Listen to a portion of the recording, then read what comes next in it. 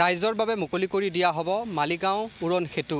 আৰু ইতিমধ্যেই মালিগাঁও উৰণ সেতুৰ কাম তীব্ৰ গতিত চলা পৰিলক্ষিত হৈছে। যিহেতু কালি মুখ্যমন্ত্ৰীগৰাকীয়ে এখন ৰাজহুৱা সভাত এই কথা ঘোষণা কৰিছে আৰু ৰাইজৰ বাবে অতি শীঘ্ৰে মুকলি কৰাৰ কথাও তেখেতে স্পষ্টভাৱে উল্লেখ কৰিছে। এই মুহূৰ্তত মই মালিগাঁও উৰণ সেতুৰ ওপৰ ভাগত উপস্থিত আছোঁ আৰু ইয়াতে কেনেধৰণে কাম কাজসমূহ চলিছে সেয়া আমি এন ডি টুৱেণ্টি ফ'ৰ দৰ্শকসকলক দেখুৱাই লোৱাৰ চেষ্টা কৰিছোঁ। মই পোনপ্ৰথমে দৃশ্যাংশ দেখুৱাইছোঁ। এনেধৰণে পূৰ্ণ গতিত কামসমূহ চলি আছে। দিনে নিশাই ইয়াৰে যিসকল কৰ্মচাৰী নিয়োজিত হৈ আছে বা শ্ৰমিক নিয়োজিত হৈ আছে তেওঁলোকে দিনে নিশাই এনেধৰণে কাম কাজসমূহ কৰি আছে।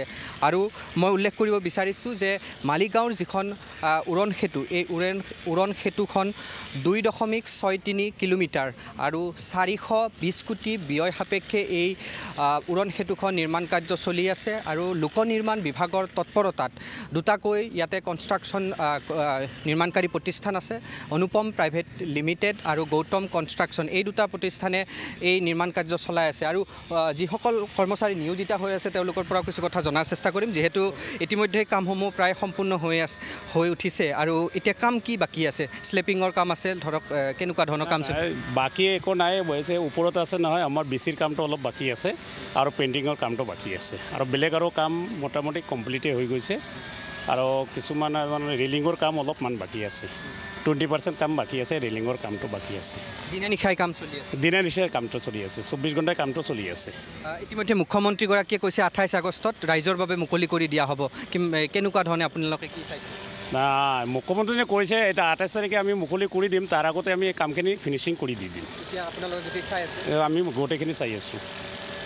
এয়া আছিলে আচলতে নিৰ্মাণকাৰী যি প্ৰতিষ্ঠান আছে প্ৰতিষ্ঠানৰ বিষয়া আৰু তেখেতে জনালে যে এনেধৰণে তেওঁলোকে দিনে নিশাই যিসমূহ কাম চলি আছে সেই কামসমূহ পৰ্যবেক্ষণ কৰিছে আৰু যাতে যি নিৰ্ধাৰিত সময় আছে সেই নিৰ্ধাৰিত সময়ত যাতে দলংখন ৰাইজৰ বাবে মুকলি কৰি দিব পাৰে তাৰ বাবে তেওঁলোকে এনেধৰণে কামসমূহ তীব্ৰ গতিত চলাই আছে। মই উল্লেখ কৰিব বিচাৰিছোঁ যে মালিগাঁও উৰণ সেতু হৈছে অসমৰ পথৰ ওপৰত থকা প্ৰথমখন দীৰ্ঘতম আচলতে অভাৰব্ৰিজ আৰু এই যিখন অভাৰব্ৰিজ মুকলি হোৱাৰ পাছতে আচলতে গুৱাহাটীৰ সৌন্দৰ্যই হওক বা পৰ্যটন ক্ষেত্ৰই এক নতুনত্বৰ মাত্ৰা বহন কৰিব আৰু এই অঞ্চলটোৰ যি দীৰ্ঘদিনীয়া যান জঁটৰ সমস্যা আছিল বা গুৱাহাটী মহানগৰীলৈ প্ৰৱেশ কৰোঁতে যি যান জঁটৰ সমস্যা আছিল সেই যান জঁটৰ সমস্যাৰো জটি পৰিব বুলি ধাৰণা কৰা হৈছে।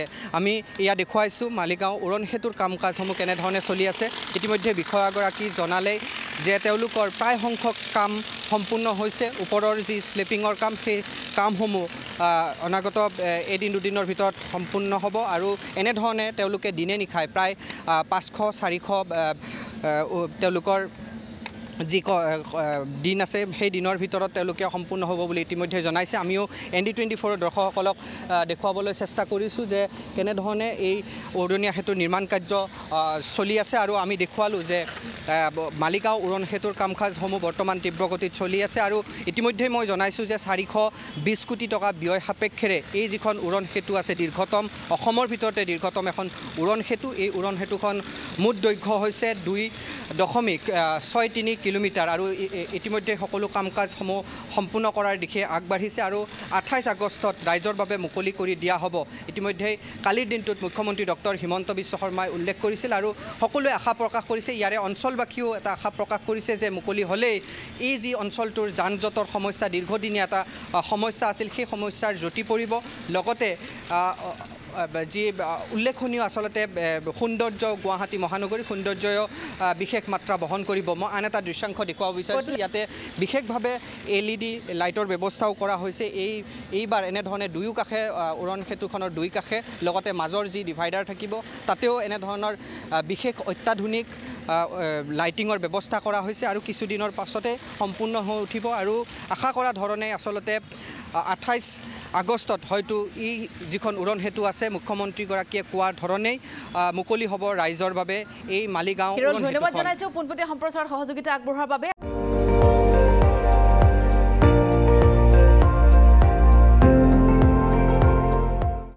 আপুনি চাই আছে এন ডি টুৱেণ্টি ফ'ৰ। সৰ্বশ্ৰেষ্ঠ নহয় সৰ্বোত্তমৰ দৌৰ।